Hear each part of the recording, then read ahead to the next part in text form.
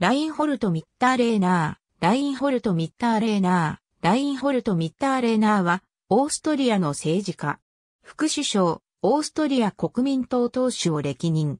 ファイマン連邦首相の辞任後、フィッシャー連邦大統領から政権の運営を暫定的に任され、ケルン連邦首相の就任までその職責に就いた。オーストリア北西部オーバーエースターライヒ州のヘリフェンベルクに生まれた。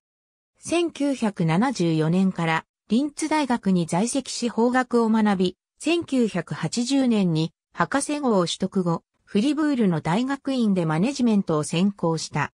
1980から1992年までは、オーバーエスターライヒ経済会議所に在籍し、マーケティングなどを担当した。その後2000年まで、オーストリア経済同盟の筆頭執行役を務め、2008年までは、オーストリア経済会議所の事務局長代理の職にあった。1991年から1997年までアホルンの地区議員を務めた後、2000年1月8日から2008年までオーストリア上院議員を務めた。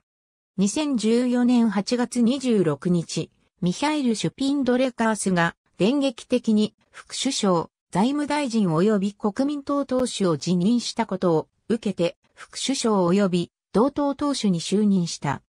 国内売上高の60%を占める同族企業を擁護する立場にあり、さらなる官僚主義と規制要件の撤廃を推進すべきであるとしている。また、大西洋横断貿易投資パートナーシップ協定の締結にあたっては、参加に前向きな姿勢を示し、経済危機を切り抜ける有効な手段と評している。女性の起用や社会的な立場向上については前向きで、国民党も若く、女性的になっていく、もっと女性が責任感と自発的で信念に基づいて政治的な役職に就くことが我々にとって喜ばしく必要なことであるとしている。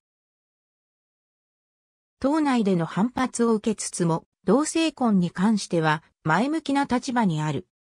2009年に来日の際はオーストリアの観光産業にとって日本は米に次ぐ大きな市場と語っているが、ベルリンで行われた国際観光メッセの際には、法王が増えつつある中国人を新たな日本と称している。リベラルな現実化とされており、世界は常に迅速に変化しており、以前のままであってはならない、ムスリムも含めオーストリアは、マルチカルチャーな国であると語っている。妻のアンナマリアとの間に二人の娘がおり、前妻との間にも一人の娘がいる。学生時代の呼び名であるジャンゴの愛称で呼ばれることがあり、本人は当時髪が長く、西部劇映画のジャンゴにイメージが重なっていたのだろうと語っている。ウィキメディアコモンズには、ラインホルト・ミッターレーナーに関するカテゴリーがあります。ありがとうございます。